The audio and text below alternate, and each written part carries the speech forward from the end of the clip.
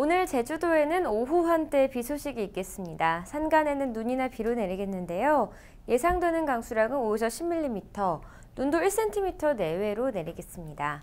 밤이 되면 서울과 경기도, 강원도 영서에 비나 눈이 오겠습니다. 비는 5mm 내외, 눈은 1cm 내외로 많은 양이 내리지는 않겠습니다. 내일도 강원도 영동을 제외한 중부지방과 경북 서부, 제주도에 새벽 한때 비나 눈이 오겠는데요.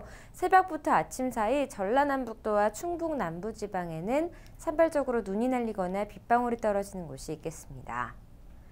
내일 아침부터 점차 기온 떨어지겠습니다. 모레가 되면 기온이 큰 폭으로 떨어지겠고요.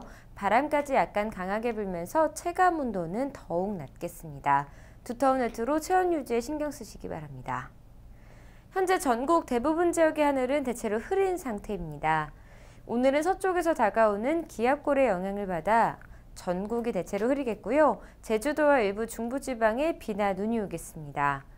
오늘 낮 최고 기온은 서울이 9도, 강릉 10도, 대전 12도, 광주도 12도고요.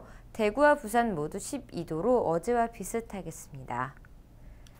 바다의 물결은 전해상에서 0.5에서 2.5m로 일겠습니다. 다음은 내일과 모레 날씨입니다.